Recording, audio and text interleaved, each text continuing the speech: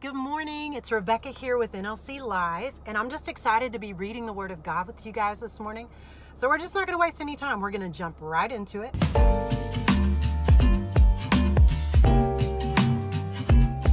We are in the Old Testament in First Chronicles chapter 16, and here is verse 29. Praise the Lord's glorious name. Bring an offering and come into his temple. Bow down before the Holy One when he appears. I love this verse. All you have to do is go back to the beginning of the chapter to see what's going on. And it is David who has just been made king in the nation of Israel. And one of his first acts of, as king, he goes and gets the Ark of the Covenant. This was just a box that represented the promises that God had made to the nation of Israel. But what David knew is that wherever that was, wherever those promises were, that's where the presence of God was. And he, he, knew he did not want to do one act as king before the presence of God was right in the middle of that nation.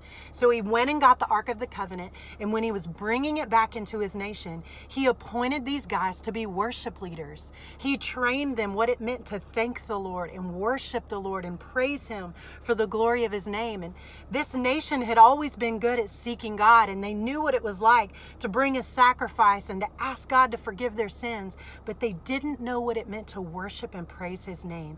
And so David knew all about this all the way back in his teenage years when he was just sitting in fields with a bunch of sheep, caring for them day in and day out. He started to write songs to the Lord, to give the Lord thanks, to worship him in every season, in seasons where it was easy, in seasons where he was struggling, in seasons where he just wanted to celebrate. He trained himself to be a worshiper of God.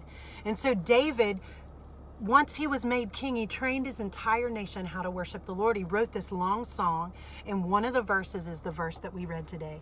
Praise the Lord's glorious name. Bring an offering and come into his temple. Bow down before the Holy One when he appears. So when we look at our questions, I'm just going to answer three of them today. Is there a command to obey? Yes, this entire verse is a command to worship and praise the Lord. The first one, it's three forms of worship. It says, Praise the Lord's glorious name. And when I looked up that word praise, it simply means to celebrate the Lord with hands extended. It's talking about this spirit of worship and celebration where you're so excited, you're jumping up and down, you cannot believe what God has done for you and it says, Praise the Lord's glorious name. And I started to think, God, what part of your name have you made glorious in my life these days? What aspect of your character am I celebrating right now? And honestly, I've been asking God to give us uh, just some wisdom on my son right now. He's six months old. He's struggling with eczema all over his body. It, it, shows up in the form of red patches on his skin. He's itching like crazy.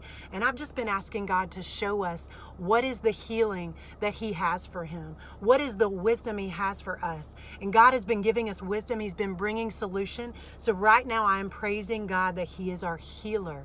I think the word in the Old Testament is Jehovah Rapha, the Lord who heals. I've been praising him as our healer. So, what is the aspect of God's character that you can glorify him for today in your life? And then the second command bring an offering and come into his temple. I love that when we bring our offerings before the Lord, God considers that an act of worship when we show up in his presence not empty-handed but when we're bringing something before him. And sometimes it's our it's literally our tithes and offerings our finances we're bringing before him. Sometimes he's asking us to bring our heart to bring our whole selves. In other words when we get into his presence to not allow ourselves to stay distracted and focused on other th- other things but to just offer our hearts in sincerity before him and say god i am here for you this morning. I'm here for all that you have. I set aside every everything else and I focus my heart and my attention upon you. And then the third command to obey bow down before the Holy One when he appears.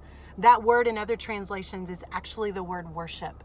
The word worship means to bow down, to lower ourselves, to recognize that as we decrease ourselves, He is increasing. As we lower ourselves, He is getting higher, He is getting greater. And I just have to share a cool story with you last week when we were at GLR, that campus, and we were getting ready for worship, we were on the stage rehearsing. And it just became obvious to our team at a certain point in that rehearsal that the presence of the Lord just moved into the room. And I can't explain it except when we were getting ready for a certain song, all of a sudden it was like I couldn't even sing. I just sat down on the floor. I put my hands out, and tears began to come down my face because the presence of God was so real in that room. And I looked down the line. My sister Heather was doing the same thing. Two people down from her, Wesley was doing the same thing. And it was obvious that the presence of the Lord had shown up. And all that we could do was just kneel before Him in a posture of honor and allow Him to be great as we sang these words Worthy is your name, Jesus.